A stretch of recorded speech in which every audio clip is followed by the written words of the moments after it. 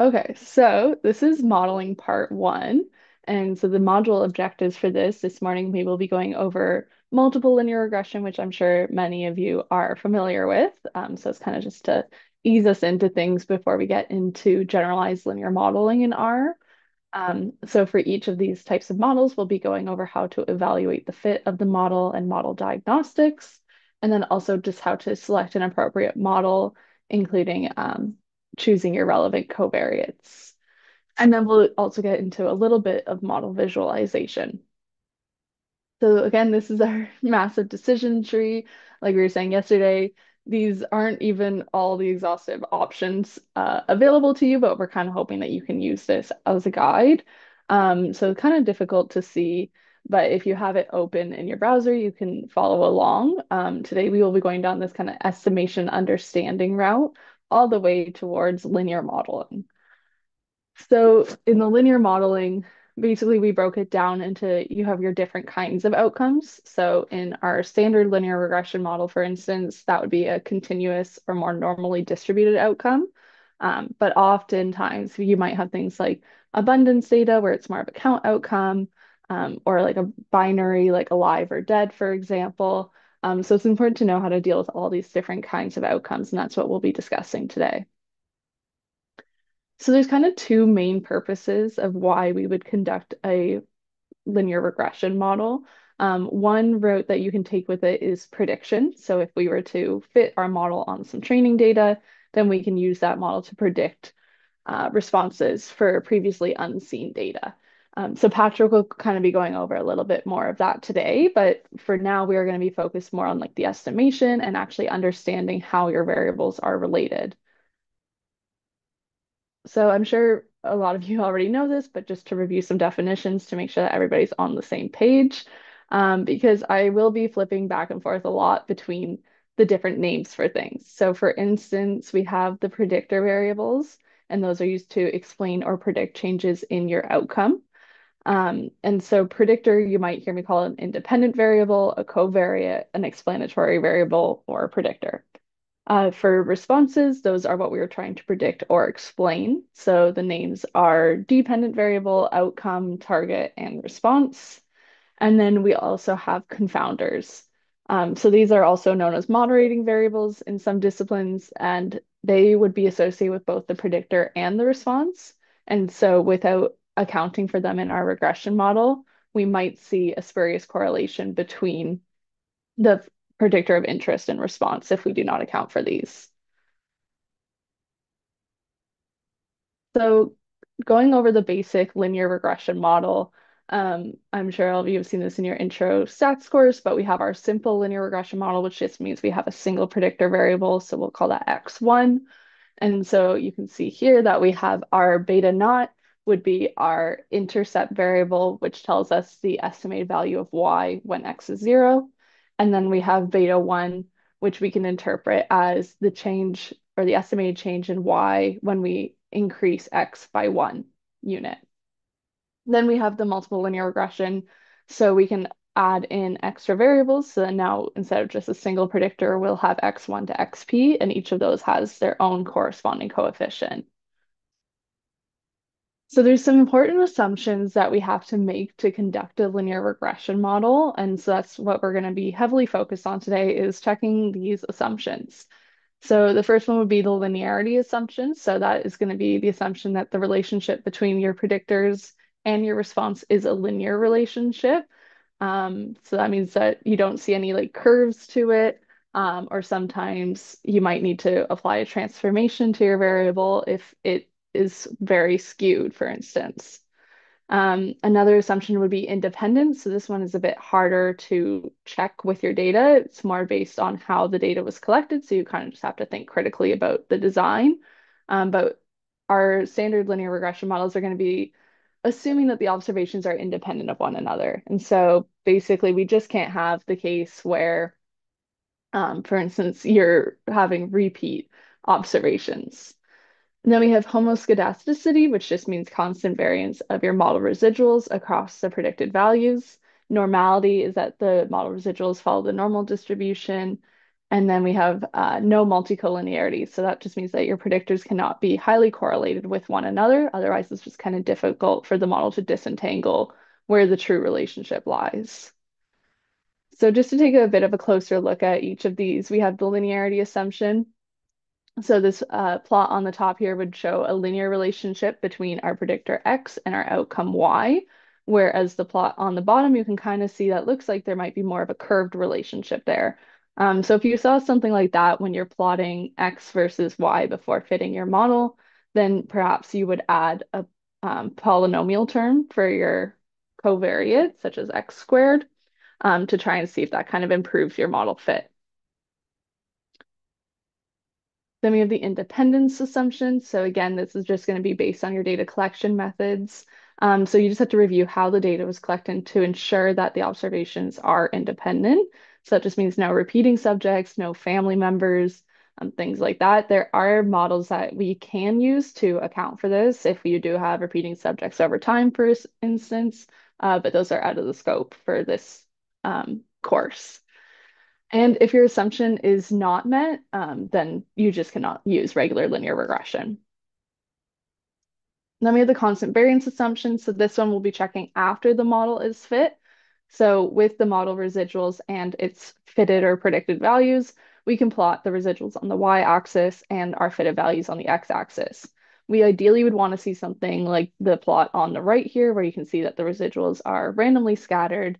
Um, there's no clear pattern to them and they're randomly scattered around zero in particular. Whereas the plot on the left, we can see a very clear pattern to those residuals um, as they're decreasing with fitted values and the overall variability of those residuals just does not seem constant. Um, so if this is not met, then we can try adding variables or transforming variables because it could just mean that we are missing important information in our model. Um, or you can also think more critically about your outcome and think whether a generalized linear model might make more sense rather than a standard linear regression. Again, we have the normality assumption. Um, so this one is also important and we have to check it based on the model residuals after fitting the model. So we can do this uh, most commonly with a QQ plot where basically it will plot this red line for you, and we just want to see the points follow along that red diagonal line. Um, so again, the plot on the right would show that the data is mostly following along that red line. So we would say that it's normally distributed, whereas the plot on the left, you can see that it kind of starts to skew upwards towards the end, um, which means that a transformation might be required, um, or we might need to add more variables, polynomial terms, etc. So we can kind of play around with that. Then we have the multicollinearity assumption. So again, we just are going to assume that uh, the predictors that we are including are not highly correlated with one another. Um, so one way that we can kind of adjust for this is just to look at the correlation matrices prior to fitting the regression, um, and then just look for very high correlation values like above 0.8, for example. Um, or we can use variance inflation factors after fitting the linear model. So the variance inflation factor will measure how much variance of regression coefficient is inflated due to inclusion of other variables in the model. So basically it will try and predict that variable given the other variables in the model. And if it can do too good of a job, um, then that means that we have some high multicollinearity. So I'll show you a function that can calculate these variance inflation factors for you. And then we kind of have our rough guidelines that if they are greater than five, for a variable, then that's somewhat concerning. Um, and if they're greater than 10, then that's very concerning. Um, there's high multicollinearity in that model.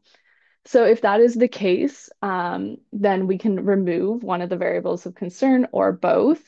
Um, or we can conduct elastic net, which will shrink the variables to zero together rather than randomly setting one to zero. Um, so Patrick will kind of review that later on today as well. And then for determining which variables to include, there's kind of two streams. Um, so we can really think about like what theoretically makes sense. So you can do a literature review. Um, I'm sure you're all experts in your area anyway, so you probably also know what variables make sense to include, what is of interest to the broader population.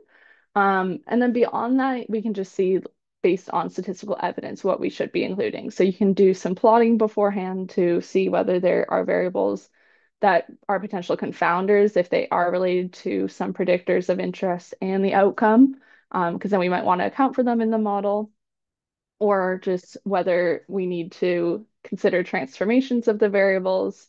And also after we fit a regression model, then we can compare that to a simpler model that isn't including all of the variables um, to see if the model that is more simple can still adequately explain our data. So overall, the goal is typically to find the most parsimonious model that adequately explains the data, uh, because theoretically we could just keep on adding um, predictors to the model to get a better and better fit. Uh, but that is not always the most practical method due to sample size, but also just the fact that that's going to be picking up a lot of noise. So we do want a pretty parsimonious model in the end.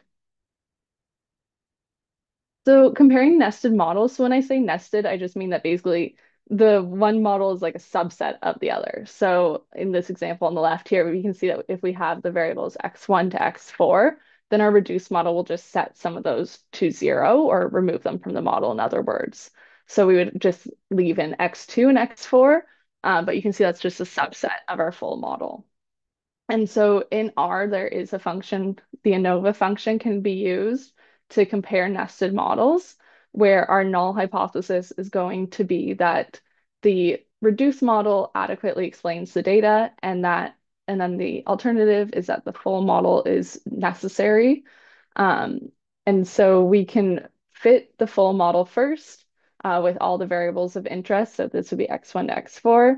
Then we can fit a second model, which will exclude some of the variables. Um, so we're going to call that red for reduced.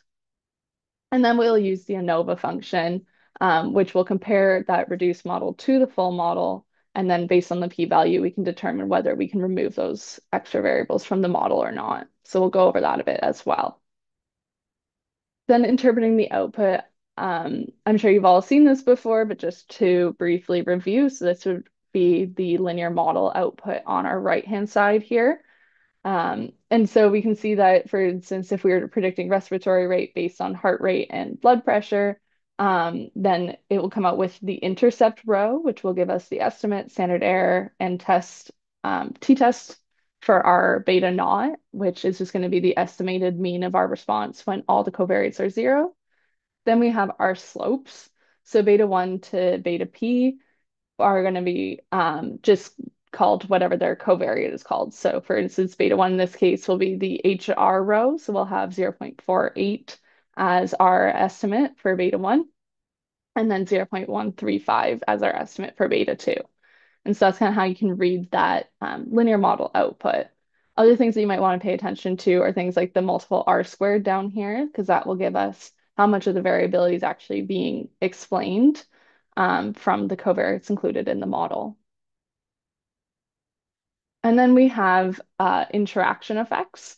So an interaction effect um, would be looking at whether one variable moderates the relationship of another, um, or in other words, we're looking at whether the effect of a variable will depend on the level of another variable and vice versa.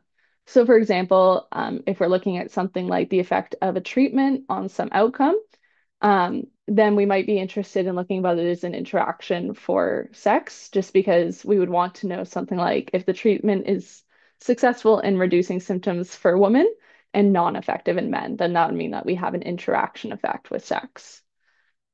So our linear regression model is going to look like this equation here when we have that interaction. So all the interaction is doing is simply multiplying the two covariates of interest together. So let's say x1 is sex and x2 is our treatment, then x1 times x2 is going to be our interaction.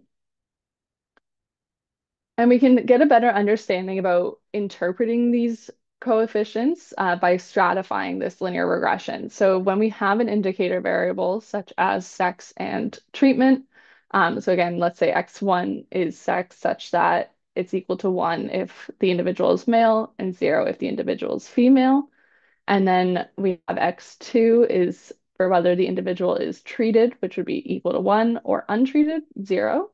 Um, then what we can do is we can kind of plug in some values to get the linear regression model for males and the linear regression for females and then compare them. So for the first option for males, because we know that x1 is equal to 1 if the individual is a male, then wherever we see an x1 in our linear model, we're just going to plug in a 1.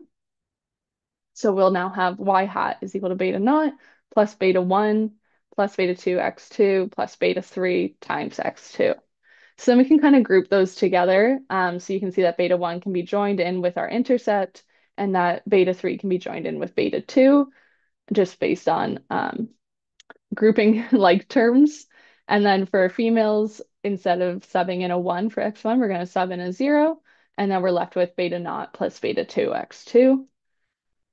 And so then for um, so then what we end up with is we can then compare the intercepts and the slopes of these two stratified models. So for instance, for males, we have that the intercept is beta naught plus beta 1, whereas for females, we have that the intercept is beta naught. So then that means that in our regression model, we can interpret beta 1 as the change in intercept for males compared to females, or the change in the expected mean. Whereas you can see that for our slope of x2, which was our treatment variable, for males, the new slope is beta 2 plus beta 3, and then for females, the slope is just beta 2. So then that means that we can interpret beta 3 as the change in slope due to treatment um, for males compared to females. And then in the end, we can visualize an interaction as well. So we'll go over this a little bit with ggplot. Um, but let's say that we're looking at the treatment effect again along the x-axis here.